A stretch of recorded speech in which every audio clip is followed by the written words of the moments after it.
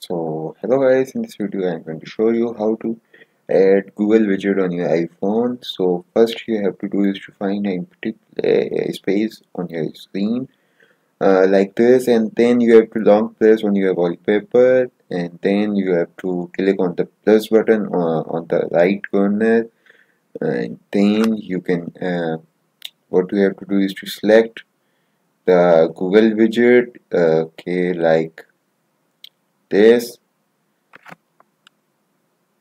and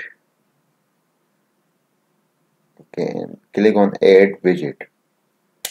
So as you can see our widgets uh, Google widget has been added on your iPhone.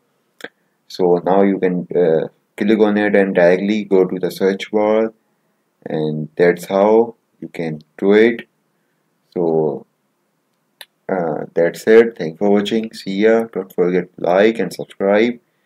And if you have any queries or questions you can comment below. Thanks